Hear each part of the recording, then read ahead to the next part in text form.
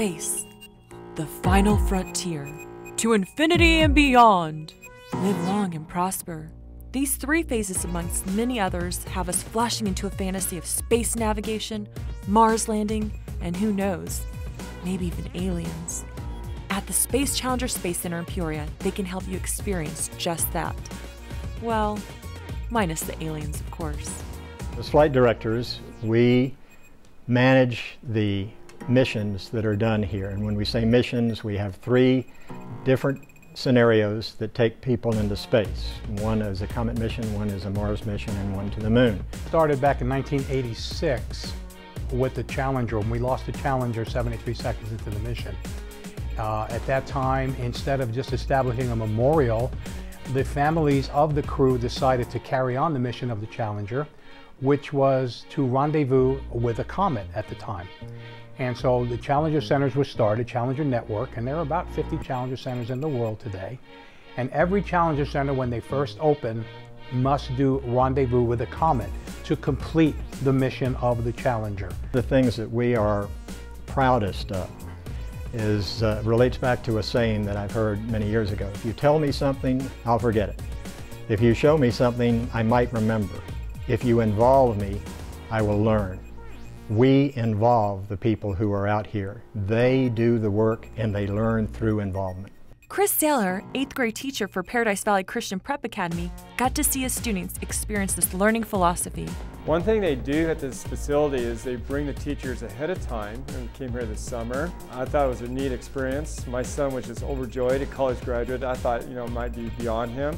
But we've both found the communication levels everybody working together, the teamwork, and the problem solving. I think the best experience was not only um, learning about what the astronauts go through and stuff, but also being able to be with our eighth grade class and have this experience. And it was great to work with all of them in um, a setting outside of school.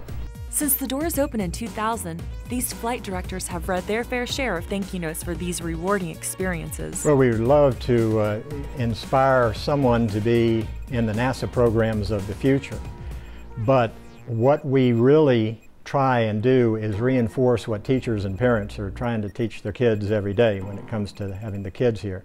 First of all, that they have to listen, they have to read because we make them read their instructions, and they have to learn how to work together all of which we have them do when they are here in any job that they have.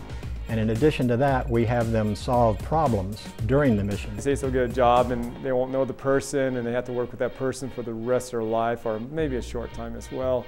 But in the same scenario here, they had to get along with each other to make things work and stuff like that. And then it just goes on later when they get their you know, job as an adult.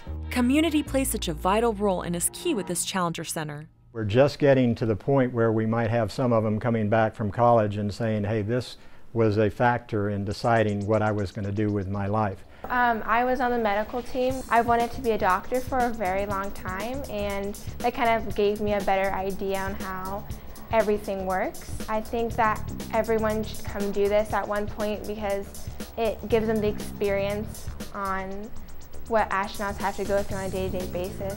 We are the largest freestanding Challenger Center in the world. We are not funded by any school district or anyone else. We rely entirely on the uh, donations and the money that people uh, pay when they come out here for one of our missions and our sponsors, which we are very fortunate to have many local sponsors from businesses around the valley who have been very generous with their donations and making sure that we have the things that we need to keep going. So we'd like to say, Thanks, Cox Charities! Wow, talk about an out of this world experience. For more information, log into azchallenger.org. For doing more for Arizona Cox Charities, I'm Magdalena Durham.